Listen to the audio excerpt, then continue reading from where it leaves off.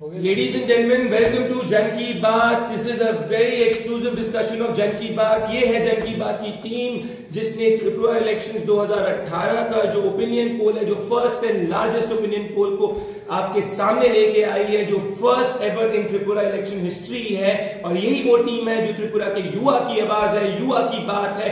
मेरे साथ इस वक्त जो 15 से 20 मिनट का लाइव फायर डिस्कशन होने वाला है इसमें मेरी टीम बिल्कुल रैपिड फायर क्वेश्चंस को आंसर करेगी, लेगी और मेरे साथ मैं इंट्रोड्यूस करना चाहूँगा अपनी टीम के सभी मेंबर्स को। मेरे लेफ़्ट तरफ़ है राहुल मेरे राइट तरफ़ है तहसीन उनके तहसीन के पास है कौशिक और कौशिक के साथ है प्रिंस लेडीज़ एंड मैं बताना चाहूँगा कि त्रिपुरा इलेक्शन 2018 के अंदर जन की बात के वीडियोस को, जन की बात की व्यूअरशिप को अनप्रेसिडेंटेड रीच व्यूज़ मिले हैं, जो शायद ही किसी को त्रिपुरा चुनाव 2018 में मिले थे।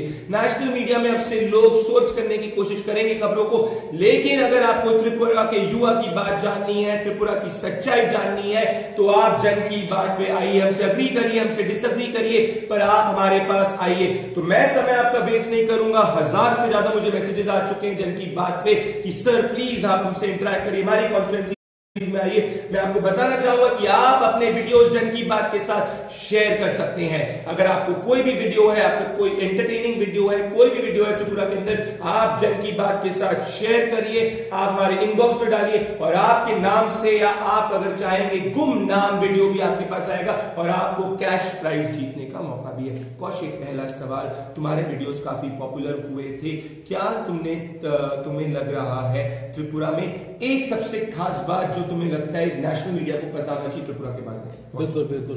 नेशनल मीडिया को ये पता होना चाहिए त्रिपुरा के अंदर कि त्रिपुरा जैसा दिखता है भारत देश को कि भाई बहुत सुंदर है पूर्वोत्तर का राज्य है हम्म, हम्म। सुंदरता प्राकृतिक है। हम्म। लेकिन जीवन शैली के अंदर सुंदरता होना बहुत ज़रूरी है। लोगों की जीवन शैली में बिल्कुल भी सुंदरता नहीं कौशिक ने बोला कि जीवन शैली में सुंदरता नहीं है पर इसके बावजूद तहसीन 92 परसेंटेज वोटिंग शेयर था विमेन्स का 90 परसेंटेज वोटिंग शेयर था मेन का 2013 के अंदर तो अगर जीवन शैली के अंदर सुंदरता नहीं है तो वोटिंग क्यों होते हैं वोटिंग और जीवन सुंदरता एक अलग अलग चीज़ें हैं।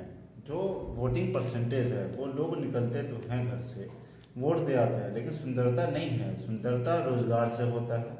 रोज़गार की उन्होंने बात की और शिक्षा की बात की राहुल मैं तुमसे पूछना चाहूँगा जनरली खबर आती है मीडिया में कि मानिक सरकार जी एक पुअर सीएम है मॉडेस्ट सीएम है क्लीन इमेज है तो रोज़गार और शिक्षा पे क्या तहसीन भाजपा जैसे एक्ट नहीं कर एक बात बताना चाहूँगा अगर सीएम जी बहुत ज़्यादा गरीब है इससे ये ज़ाहिर नहीं होता ये साबित नहीं होता कि राज सुखी संपन्न होगा।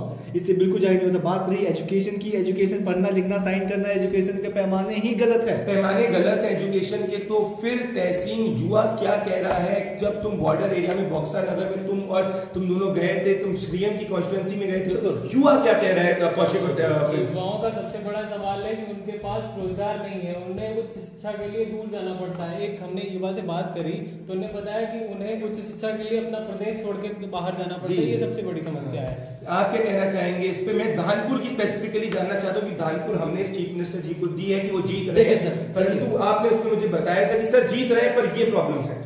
धानपुर भी त्रिपुरा का ही हिस्सा है। ऐसा नहीं धानपुर को त्रिपुरा का हिस्सा नहीं है। जो मेजर इफ़ेक्ट जो त्रिपुरा के हैं वो भी धानपुर के इफ़ेक्ट भी वैसे नज़र आ रहे हैं। लेकिन एक सिंपत्ति जुड़ी हुई है कि भाई सीएम की सीट है और सबसे बड़ी बात जो बॉर्डर एरिया लगा हुआ पे एक माइनॉरिटी जो कम्युनिटी है ना वो पूरी की पूरी जो है एकदम से रुझान उसका माइनॉरिटी कम्युनिटी हमेशा जनरली क्यों देखा जाता है कि कि सीपीआईएम की तरफ़ यहाँ पे जुड़ी रहती है? कौशिक में इस पर पूछना चाहूँगा पाँच सेकंड में बिल्कुल सर। मैं बताता हूँ आपको इसका रीजन ये होता है कि कांग्रेस पिछले काफ़ी सालों से एकदम कमज़ोर कड़ी की तरह नज़र आ रही है। उन्हें कुछ उम्मीदें हैं नहीं उस चीज़ से। हाँ। दूसरी बात बीजेपी जो है वो एक धार्मिक पहलू से देखी जाती है हमेशा से ही। तो बचा कुचा जो यहाँ पर विकल्प बचता है वो सीपीआईएम का बचता है। दूसरी बात यहाँ पर जो त्रिपुरा के अंदर काफ़ी एक जो डिस्प्यूट हुआ था उसके बाद से जो है शांति जैसे की यहाँ पे लोकल वर्ड है शांति शांति तुमसे पूछना चाहूँगी शांति यूनियन क्या है? क्या ये शांति यूनियन सच में शांति यूनियन है कि इसके पीछे भय है? ये मैं पूछना चाहूँगा। सर त्रिपुरा की अगर हम बात करें तो यहाँ पे शांति यूनियन बिल्कुल भी नहीं है। हम्म। हमने हमारी टीम जब गई हमने युवाओं से बात करनी चाहिए महिलाओं से बात करनी चाहिए कोई भी हमसे बात नहीं किया। ऑन कैमरा थी शांति क्या है कैसी शांति सर यहाँ पे बिल्कुल भी नहीं है। मुझे शांति एक तरह का एक न सर्कल है जिसको दिखाया गया है। उस शांति के अंदर बंद शांति बेसिकली डर है। डर है। दबाव है। डेप्रिवेशन एंड डेंजर पर अगर डेप्रिवेशन और डेंजर है शांति तो फिर यहाँ पे लोग कहते हैं कि पीसफुल इतना है। तो क्या पीसफुल कौशिक एक अंदर से डर है जिसमें लोग बोलना नहीं चाहते? वो पीस है यहाँ पे कि कौन सा पीस है सर दो बातें। देखिए दो बातें। एक तो डर होता है। डर वो होता है जो इंसान बिल्कुल भी घर से बाहर ना निकले बोलेगा दूसरा तो यहाँ पे लोग बोल भी रहे हैं। दो तरह के लोग देखने को मिले यहाँ पे एक साइलेंट लोग हैं और एक विजुअल लोग हैं जो सामने आके बात करते हैं। ठीक है और रही बात शांति की तो सर इसके भी दो पहलू निकल आते हैं। हो सकता है लोगों को कहीं ना कहीं सेटिस्फेक्शन हो गवर्नमेंट से। वो ना बोलना चाहते हैं। सेटिस्फैक्शन अगर है या वो है ना बोलना चाहते हैं राहुल तो तुम जब शांति बाज़ार इन सब एरिया के अंदर गए और मैं चाहूँगा कि तुम और तहसीन यहाँ पे खुआई की बात करो कि खोआई में हमने बोला नेक टू नेक बैटल है खोआई सीपीएम का गढ़ माना जाता है तो क्या कहोगे राहुल बोस मैं जिनको नहीं पता, अगर त्रिपुरा के बाहर के लोग जनता देख रही है तो बता दें कि खोवाई एक डिस्ट्रिक्ट है और खोवाई में भी एक पर्टिकुलर एरिया है जो एक विधानसभा क्षेत्र भी माना जाता है और वो सीपीएम का गढ़ माना जाता है। हम वहाँ तीन बार गए ताकि वो एरिया सीपीएम का गढ़ माना जाता है। इसलिए हम सच्चाई का पता लगाने के कि सच में वहाँ सीपीएम अभी भी काबिज है लेकिन सच्चाई हमें बिल्कुल ही अपोजिट नज़र आ नहीं रहा है। अपोजिट इनने बात करी है पर मैं कह रहा हूँ मैंने भी इस चीज़ में अपने इंटरवीन करके बोला कि भाई हम एक तरफा बीजेपी को नहीं सकते नेक टू नेक बैटल होगा। मुझे ऐसी बारीक बात बताइए बताइए तहसीन जनरली ऑफ़ कैमरा बात सबसे बड़ी चीज़ वहाँ की एक चीज़ ये देखने को मिली जो विश्वजीत दत्ता जो विधायक थे उनका आखिरी वक्त में सीट बदल दिया जाता है निर्मल विश्वास को सीट दे दिया जाता है। अब जो विधायक है ये जो विधानसभा का चुनाव होता है वो एक चेहरे का चुनाव है। अब आप जो सिटिंग विधायक उसका सीट बदल दिए दूसरे नए विधायक वो तो बिल्कुल नए ये बात इन्होंने बहुत इंपॉर्टेंट यहाँ पे कही। मैं प्रिंस तुम्हें यहाँ पे जोड़ना चाहूँगा और तुमसे ये पूछना चाहूँगा कि जब तुम लोग आ, जिन इला, इलाकों में गए सबसे पहले कदमदरा कुर्ती तरफ़ तक तक आप जा चुके थे जो बिल्कुल असम के बॉर्डर के पास आता है तो तुम और कौशिक इसमें गए थे। ऐसी चीज़ एक बताओ कदमदरा कुर्ती के बारे में जो शायद से मैं या कोई भी जनता यहाँ पे नहीं जानती होगी। एक चीज़ सबसे बड़ी चीज़ वहाँ की है कि वहाँ पे जो विकास हुआ है वो झूठा विकास हुआ है। ये अगेन मैं इसमें मैं कहना चाहूँगा ये बड़ी जनरल बात प्रिंस ने कही। मैं चाहता हूँ कुछ स्पेसिफिक आए ग्राउंड से यहाँ पे। देखो सर ऐसा है पूरे त्रिपुरा में यहाँ पर अदर भारत की बात की जाए तो यहाँ पर पहली बात तो कैंपेनिंग बहुत कम है चुनाव की।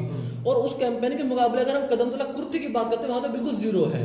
यहाँ पर सड़कों के किनारे में झंडे दिखने पर आराम से मिल जाते हैं। ये झंडे में झंडे पे आऊँगा तो अगर मैं ऑब्ज़र्व करूँ कि अगर आपको त्रिपुरा की राजनीति को समझना है तो क्वांटिटी और चेंज जैसे झंडे होते हैं उस तरीके से भी आप समझ सकते हैं। जिस तरीके से पहले अगर आपको देखिए सीपीएम के गढ़ों के अंदर आपको सिर्फ़ सीपीएम के झंडे मिलेंगे फिर बीजेपी सीपीएम के झंडे मिलेंगे फिर आईपीएफटी के झंडे मिलेंगे। तो कहीं ना कहीं झंडों झंडों की मैं कह सकता हूँ झंडे काफ़ी सिग्निफिकेंस इसके अंदर मेरे हिसाब से। अच्छा, महिलाओं का मैं पूछना चाहूँगा कि क्या यहाँ की महिलाएँ और वोटर्स को हम किस तरीके से इंटरप्रेट करें फ्रेंड्स और तहसीन क्या हम इस तरीके से इंटरप्रेट करें कि वो जो अपना पति कहते हैं वो ही कहेगी या उसमें भी विभाजन है कई नई नई महिलाओं के फ्रेंड्स पहले तुम जो पति कहते हैं वही करेंगे क्योंकि हमने जो देखा मैं- मैं मैं मैं मैं इससे असहमत हूँ, मैं इससे असहमत हूँ। भी महिला के सामने नहीं आ रही मैं- मैं- शहरी मैं- शहरी मैं- को छोड़ दिया जाए। मैं- शहरी इलाकों को छोड़ दिया जाए शहरी इलाकों को छोड़ दिया जाए तो ग्रामीण अंचल में जितनी महिलाएँ हैं वो खुलकर सामने खुल के सामने मतलब मैं मैं इस बात पे एक चीज़ ये कहना चाहूँगा कोबई में हम गाँव गाँव गए वहाँ की महिलाओं ने कहा कि पति का अपना अधिकार है हमारा अपना है। ही। मैं हो है देखिए देखिए डिसएग्री इसलिए हूँ क्योंकि प्रिंस और हम दो तीन जगह पे गए थे यहाँ पर। हमने सब्ज़ी वाली लड़की महिला से बात की थी तो हमने ऐसी महिला से बात की जो व्यापारी भी थी। वो खुद हालाँकि ये बात तो बहुत ज़रूरी है कि सर एकमात्र महिला थी जो सबसे खुद चल के हमारे पास लेकिन वो- वो अपना खुद रख रही है बात समझिए ना देखिए अगर महिला आपके सामने बोल नहीं रही है इसका ये मतलब थोड़ी कि पति के हिसाब से वोट हाँ, करेगी वो चुप रहेगी गोपनीय वोटिंग तभी होती हो बिल्कुल। जाती है उसको पता है कि हम लोग बोल देगी उसको पति उसको कुछ फोर्स सहमत, करेगा सहमत। इसलिए वो अपनी लेकिन सोच वो महिला की awareness। नहीं हमने particular age जो group में नहीं awareness है। नहीं है जो होनी चाहिए पर अगर अवेयरनेस नहीं तो बयानवे परसेंट वोटिंग कैसे हो सकती है प्रिंस भाई को एक चीज़ मैं ये बताना चाहूँगा हमने खोवई में खास करके खोवई की बात करें तो हर एज ग्रुप से बात करें विधानसभा था। की सर, ये सिर्फ़ नहीं। सिटी में क्योंकि बात किया क्योंकि अगर तो अगर महिला की राय अलग होती तो वोट परसेंटेज इतना नहीं होता बिल्कुल राय अलग और वोट परसेंटेज अलग सर सर एक मिनट। राय अलग होना और वोट परसेंटेज होना अलग चीज़ें हो सकता है पति के दबाव में वो वोट नहीं पर मेरे को ये लगता है अगर मेरे को ये लगता है क्योंकि वोटिंग गोपनीय है पति उसको कितना भी दबाव डाले महिला की अपनी खुद की सोच है और उसमें भी विभाजन हमें देखने को मिल सकता है जो यंग मोबाइल के साथ महिलाएँ हुई हैं। सर मोटा मोटे उदाहरण यूपी चुनाव का ले लीजिए। बिल्कुल, आप देख लीजिए, हूँ। वोटरों ने साफ़ साफ़ कह दिया बीजेपी को वोट नहीं करना लेकिन महिलाओं का वोट किया। हूँ है उत्तर प्रदेश और त्रिपुरा की दोनों की सिचुएशन अलग है। नहीं हंड्रेड परसेंट तुमसे यहाँ पे करूँगा। मेरी ऑब्जर्वेशन ये बता रही है और ये हंड्रेड परसेंट है कि जो क्योंकि वोटिंग गोपनीय है महिलाओं ने हमें भले वो उनने कैमरे पे नहीं बोला पर एक लेवल ऑफ़ उनकी इंडिविजुअल ओपिनियन है जो स्टिक करती है which is as important as पुरुष ओपिनियन इसमें मैं एक नेक्स्ट पॉइंट पे जाना चाहूँगा कुछ थोड़ी बारीक पॉइंट पे बात करूँगा कि दवाई का कुछ यहाँ पे एक बात चलती है जो था कि कुछ बीस रुपए की कप सिर्फ़ दो सौ बनती है कोरेक्स क्या है और एक है और एक और भी दवाई है जिसका नाम हमें अभी क्या पता है क्या ये मुद्दा है? सर ये एक तरह की दवाई है जो हम नॉर्मली ज़्यादातर कफ सिरप की तरह यूज़ करते थे। अब उसको बैंड लगा दिया जाए। लेकिन यहाँ पे त्रिपुरा राज्य में और बांग्लादेश से तीन साइड से त्रिपुरा राज्य घिरा हुआ है। कफ कफ सिरप जो कॉरेक्स है इसकी स्मगलिंग होती है। बहुत ही बड़े पैमाने पे करोड़ों का बिज़नेस है ये नशे की तरह यूज़ करते हैं लोग। मैं पूछूँगा कौशिक स्मगलिंग क्यों? अगर आप यहाँ पे मैन्युफैक्चर करना चाहें करें और उसको एक्सपोर्ट आप दूसरे बांग्लादेश को एक्सपोर्ट करिए रेवेन्यू कमाइए। सर जब जहाँ स्मगलिंग किस चीज़ की तब होती है जब कहाँ किस क्षेत्र के अंदर वो चीज़ बंद कर बंद हो। जाती है। यहाँ वो चीज़ बंद है वो बैन है। इसलिए स्मगलिंग होती है। इसका हरजाना हमारे देश के सैनिकों को भुगतना पड़ता है। सर तस्करी होती है बॉर्डर के ऊपर। मिस्टर मंडल जो कमांडेंट आई थिंक से ऑफिसर थे हाँ। उनका यहाँ पर उनको शहीद होना पड़ गया इस पूरी तस्करी के मामले में। हमारे देश के जवान मुझे समझ में नहीं आ रहा वो हमारी सुरक्षा के लिए हमारी तस्करी रोकने के लिए हैं। सर जो दुकान पे सौ रुपए का कॉरेक्स है वो बॉर्डर तक पहुँचते पहुँचते ढाई सौ रुपए तक हो जाता है। बॉर्डर के उस पर जाते जाते सात सौ से आठ सौ तक हो जाता है। टाइम्स प्राइस इंक्रीज है Border के बारे में एक चीज़ और बताना जो तस्करी जो तस्करी होती है वो इंसाफ। फ्लोटिंग की तस्करी भी यहाँ पर होती है। एक गाय यहाँ दस हाँ, लाख मैं हूँ। बंगाल में एक लाख की हो जाती है। हो है। लाख है, दस गुना कीमत पड़ जाती है। में। में- किलोमीटर जाते हैं तो डायरेक्ट मतलब आप देखिए स्लॉटर कीमत दस गुना जाके मैं जाता हूँ। मेरे सर- अगर देख रहे हैं तो इस बात पे भी गौर करें। मैं एक बात। बोलता हूँ हम लोगों ने बीएसएफ से बात की थी। मैं उस चीज़ को मैं गोपनीय रखूँगा किससे बात की थी? लेकिन वहाँ से मुझे जानकारी मिली थी वो ये बड़ी हैरान करने वाली बात थी कि वो इतनी इंपॉर्टेंट चीज़ होती है तस्करी उसके लिए गोलियाँ तक चल जाती है बॉर्डर जवानों के ऊपर नहीं आपको और एक दूसरी बात दूसरी बात एक एक एक क्वेश्चन को रोकना चाहूँगा एक रोकना चाहूँगा जैसे मेरे को याद है पिक्चर एक लियानो डिकैप्रियो की आई थी ब्लड डायमंड करके जिसमें वो डायमंड्स करके चीज़ का वो तस्करी इतने बड़े लेवल पे होती थी पूरा ट्रेड चलता था तो कहीं ना कहीं सीमित नहीं मुझे लगता है कोई बहुत बड़े बड़े हैं। ही बताना। चाहूँगा ये जो जो त्रिपुरा का जो बॉर्डर एरिया है ना त्रिपुरा इलेक्शन को बहुत ही हद तक मैं कहूँगा तीस से चालीस प्रतिशत हद तक ये अफेक्ट करता है वोटर्स अफेक्ट करता है। एक एक नेक्स्ट मुद्दे पे आऊँगा। रोज वैली मैं रोज वैली का जो यहाँ पे मैंने कई महिलाओं बात करें आप देखिए हर दस वक्त भी हम लोग लाइव करे तो बोले थे मेरा पैसा रोज वैली के अंदर गया। पर वो इतना बड़ा मुद्दा जो है वो अभी तक सीएम की इमेज को क्यों नहीं डेंट कर पाया है ये मैं पूछना चाहूँगा।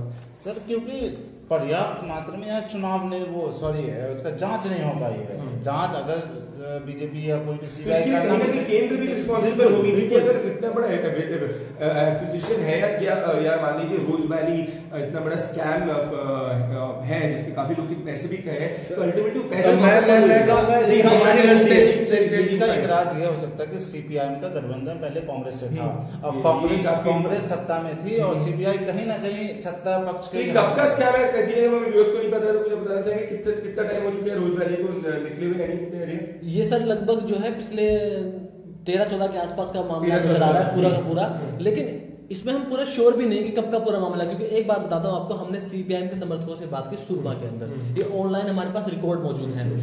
वो वो जो कार्यकर्ता है उन कार्यकर्ता ये कह रहे हैं कि भाई हमारी सरकार को पता ही नहीं लगा स्कैम हो कब गया। ये हमारी गलती है। हम मानते हैं कि हमें पता ही नहीं लगा स्कैम कब हो गया। अच्छा एक चीज़ मैं पूछना चाहूँगा और ये देखा जाएगा कि यहाँ पे मैं पूरे स्टेट में गया। मुझे एक भी फॉरेन टूरिस्ट देखने को नहीं मिला। इतना ब्यूटीफुल ब्यूटीफुल स्टेट इतना चीज़। ऐसा छोटा- क्यों? छोटा सा उदाहरण लीजिए जिस राज्य के अंदर वहाँ के क्षेत्रीय पत्रकार सुरक्षित नहीं है विदेशी लोग सुरक्षित है? कितना बड़े पॉइंट और इस पे मैं आऊँगा राहुल शांतनु बॉम्बे की उसमें क्योंकि तुम मंडाई गए थे मेरे साथ में। जरा तुम बताओगे कि जब हमने वो आसपास सीपीएम के कर रिपोर्टिंग की और थोड़ा सा हम आगे चले गए किस तरीके का परिवर्तन मिला वहाँ पे एक पत्रकार की हत्या हो जाती है बावजूद इसके वहाँ के लोग इस बात से कई हद तक अनजान है और जो जिनको पता है वो लोग इतना ज़्यादा डरे हुए हैं बताने से उन लोगों को कई राज्य पता है। इस चीज़ में एक चीज़ मैं जोड़ना चाहूँगा जब हम लोग यहाँ आए थे और सिटी सेंटर पे हमारे साथ जो भी घटनाएँ घटी उसके बाद वहाँ पे डीएम और एसपी खुद कह रहे हैं कि आप सुरक्षित हैं और कहीं जाइए तो आप हमें बता के जाइए। जिस राज्य की व्यवस्था ये हो उस राज्य तो इसमें मैं हमेशा कहूँगा कि इसके लिए एडमिनिस्ट्रेशन को भी हमें रिस्पॉन्स हमें एक एडमिनिस्ट्रेशन को भी बोलना ज़रूरी होगा क्योंकि आप देखिए हर डिपार्टमेंट अल्टीमेटली डीएम के अंदर आता है डीएम की काउंटर साइन लगती है। तो कहीं ना कहीं एडमिनिस्ट्रेशन भी तो इसमें कंप्लिसिट हो चुका है। सर आपने टूरिस्ट का मामला उठाया। जनगणना के लिए भी यहाँ के अधिकारी गाँव के अंदर जाते नहीं बिल्कुल। ये सबसे मुखिया लोग मुखिया लोग बोलते हैं कि भैया इस इस जगह पे इतने वोटर हैं इतने महिलाएँ इतने पुरुष इतने बच्चे हैं आप लिख तो लीजिए कहीं ना कहीं आलस अधिकारियों के लेवल पे भी कहीं ना कहीं आलस और डर भी है। आप भी कह रहे होंगे वहाँ पे कि एक हत्या हो जाती है एक पत्रकार की लेकिन जाँच कितनी हुई है? आपने भी कई बार मुद्दे उठाए थे दूसरी चीज़ की कोई कनेक्टिविटी नहीं है। ये कनेक्टिविटी पे मैं आना चाहूँगा जब आप लोग सब आ रहे थे काम मेरे को याद है चली थी कि मैं तो भाई जहाज़ से आ गया था परंतु जब आप लोग ट्रेन से आए कितनी आपको दिक्कतें हुई क्यों नहीं डायरेक्ट ट्रेन मिल पाई डायरेक्ट ट्रेन भी हर दिन नहीं चल रही थी? कहीं ना कहीं ये भी बहुत बड़ी समस्या है क्योंकि आइसोलेटेडली एक तरीके से यहाँ से बाहर जाना है बाहर के लोगों को हिंदुस्तान के अंदर इस पर आना बड़ी समस्या देखी बिल्कुल बिल्कुल। सर 500 किलोमीटर रास्ता अगर बाई बस आप करने हैं तो आपको 22 घंटे लग जाएँगे, sir.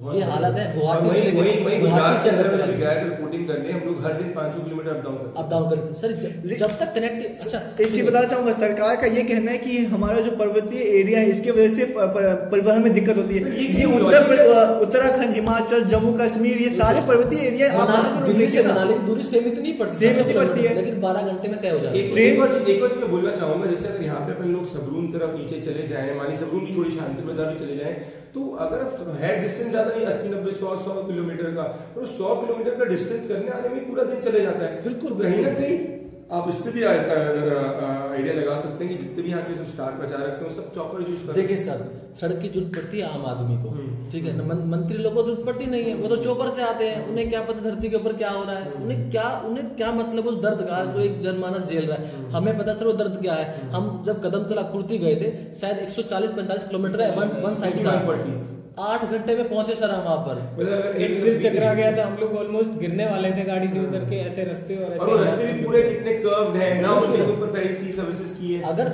To one side road है सर अगर दो गाड़ी सामने से आती है एक गाड़ी को पीछे या तो बैक लेना पड़ेगा या फिर दूसरे को दूसरा वहाँ पे रोकना पड़ेगा। ये हालत यहाँ की सड़क सुविधा की। अरे पर्वतीय इलाका है तो आपको इंफ्रास्ट्रक्चर बनाना चाहिए।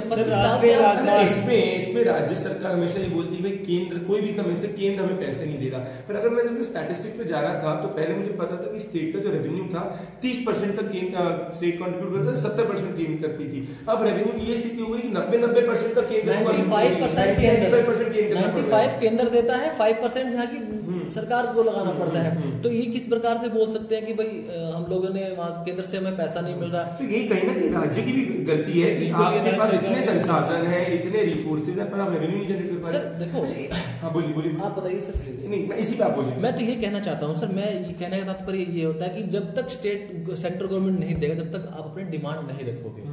स्टेट बोलता है मुझे इतना पैकेज चाहिए मुझे उस चीज़ पे डालना है पैसा। तो सेंट्रल गवर्नमेंट करेगा उसके ऊपर काम। अगर फिर भी नहीं करता है दैट ये आप मेजोरिटी पा रहे हो लगातार मेजोरिटी के साथ जीत रहे हो। ऐसी बात नहीं है कि आपकी पोजीशन गवर्नमेंट आपको है। सर अभी अभी तो एक जो अंग्रेज़ों का एक वो था नीति वो डालो राज करो। इनका अब नीति हो गया आरोप लगाओ राज करो। आरोप लगाओ राज करो एट द रेट है भाई। लास्ट सेगमेंट पे आऊँगा मैं उसके बाद में कंक्लूडिंग रैपिड फायर राउंड से मैं कंक्लूड करना चाहूँगा। लास्ट सेगमेंट यहाँ कारखाने इंडस्ट्री नहीं है डिस्पाइट इतना ज़्यादा रबर बैम्बू प्लांटेशन और जब हम इंडस्ट्री पे गए थे तो हमें अनक्लोज डिस्क्लोज सीक्रेट क्या बोला था कि भाई यहाँ पे सब इंडस्ट्रीज़ भाग जाती है क्योंकि कोई माफिया कुछ कलेक्शन करना चालू करते हैं। ऐसे इस पे क्या तुम राय सर यहाँ पे दो चीज़ें हैं। एक बैम्बू का बिज़नेस हाँ। एक रबर का बिज़नेस बैम्बू रबर तुम गए जब तुमने रबर प्लांटेशन से बात की प्रिंस तो तुम्हें क्या यहाँ पे जो अनडिस्क्लोज माफिया है उसके बारे में क्या पता चला? सर हर इवन की बम्बू रबर छोड़ दीजिए चाय के बागानों पर माफियागिरी हो रही है। आपने भी वहाँ पे कवर किया चाय के है। बैगानों में बताना चाहूँगा चाय के बैगानों का पूरा एक मनरेगा के अंदर पैसा जाता है तो यहाँ पे सवाल उठता है एडमिनिस्ट्रेशन इन लोगों ने पैसा ज़मीन पे क्यों नहीं लेके आओ पूरे की पूरे वेस्ट लैंड में कन्वर्ट हो गए। कोई आप कुछ सर मैं थोड़ा सा बम्बू वाले भी बात पे ये बहुत इंपॉर्टेंट पॉइंट है। बम्बू की यहाँ पे बहुत ज़्यादा पैदाइश होती है। जिनके पास बम्बू है वो वहाँ से ट्रांसपोर्ट करके मार्केट में ला सकते हैं ट्रांसपोर्टेशन है नहीं। अगर मार्केट ले जाते हैं तो उनके उनको प्राइस देने वाला कोई नहीं है। अगर प्राइस मिल भी जाता है तो ढंग के प्राइज नहीं मिलते उनको. इतनी सारी चीज़ें हैं तो कहाँ है है है। ही। नदी नदी के सहारे पानी बम्बू को बहा दिया जाता है ताकि वो एक जगह से दूसरी जगह पहुँच के वो निकाल सके। ये तरीका यूज़ किया जाता है। साइकिल से ले जाते हैं। लोग। लास्ट जी Large scale में ये तो बम्बू की बात होगी। स्थानीय बात है इंडस्ट्रीज़ की। हाँ।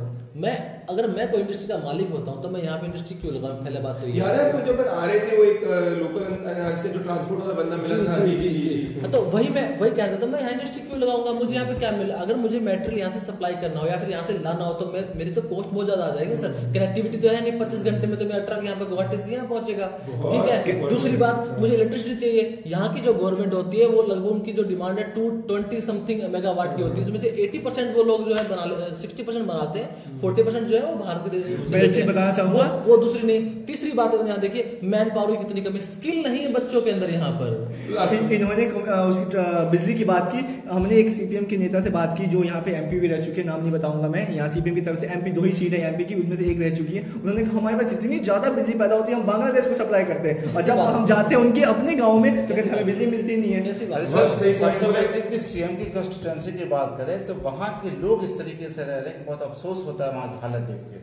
अब मैं आना चाहूँगा लास्ट क्वेश्चन लास्ट राउंड पे तो बीस बीस सेकंड का राउंड होगा इसमें सिर्फ़ और सिर्फ़ रैपिड फायर रहेंगे। इसमें कोई भी हम लोग स्टेटमेंट्स नहीं देंगे सिर्फ़ चॉइसेस ली जाएँगी।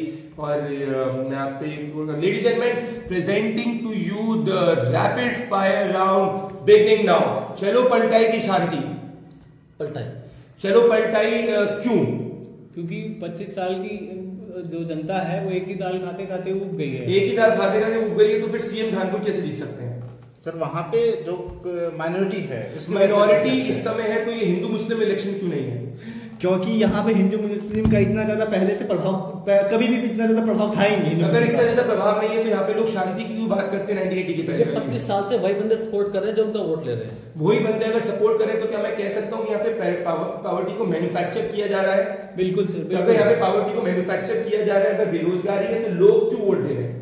क्योंकि ये सीएम जो गरीब हैं इनकी छवि को देख अगर सीएम की गरीब छवि तो वोटर इस बार क्यों नहीं सीएम को वापस तो सर? दायित्व वाली बात होगी ना कि मैं भी गरीब तू भी गरीब मैं भी गरीब तू भी गरीब और अगर मनरेगा का भत्ता नहीं मिल रहा है और मान लीजिए अगर चलो पलटा ही नहीं होता है या मान लीजिए कि किस सिचुएशन में वापस सीपीएम जीत सकती है? कोई दिख ही नहीं रहा है कोई रास्ता ही नहीं दिख रहा है सर। पूरे पूरे प्रदेश में ऐसा कोई विकल्प नहीं बचा है कि सीपीएम दोबारा सत्ता में तो अगर सीपीएम वापस से जीत जाती तो क्या हमें कलेक्टिव फेलियर हमारी भी अंडरस्टैंडिंग एक्सेप्ट कर सकते हैं? हमारे हमारी देखिए सर हमारी फेलियर हम हमारा दायित्व हमारा भी ले सकते हैं कोई बड़ी बात नहीं। लेकिन इस वक्त की पोजीशन देखते हुए हमारा फेलियर नहीं होगा। राजनीतिक समीकरण कब कैसे बदल से कुछ नहीं कर सकता लेकिन हर बंदे के मन में यही बात है कि नाउ परिवर्तन। लेडीज़ एंड अगर पकड़ा भी किसी व्यक्ति ने सीपीएम का झंडा है तो शायद से दिल के अंदर परिवर्तन है। और कहा कैसे कहा कि 25 साल से सेम दाल नहीं खाना चाह रहे, शायद से वोटर इस वक्त ये सोच रहा है। एटलीस्ट ये हमारी ग्राउंड रिपोर्ट बता रही थी। ये रहा था पूरा डिस्कशन जो चल रहा था नंबर्स की बात नहीं क्योंकि नंबर में बोरिंग हो जाएँगे। This is what was behind the scenes for the Jan Ki Baat largest the first opinion poll on Tripura election 2018 thank you so much for us thank you so much